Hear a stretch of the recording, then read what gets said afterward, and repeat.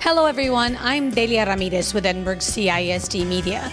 The Campus Teachers of the Year for 2020 2021 have been named. Recently, they came together to have their photos taken, and some got interviewed as well. It was all part of recognizing them for their achievement. Check it out.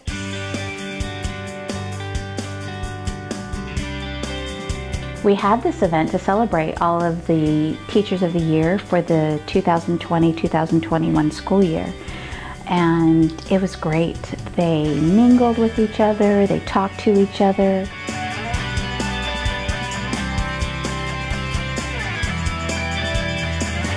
I would describe a teacher as a tour guide. Um, we're there to guide and impart knowledge on our students, not just on content, but on life um, in building up their character and becoming lifelong learners.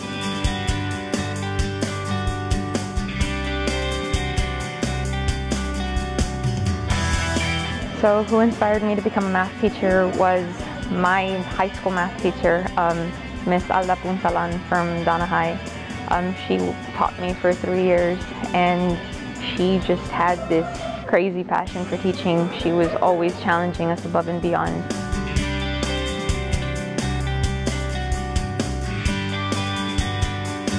We congratulate all of the newly named 2020 2021 Campus Teachers of the Year and wish them the best. Reporting for Edinburg CISD, your district of choice, I'm Delia Ramirez.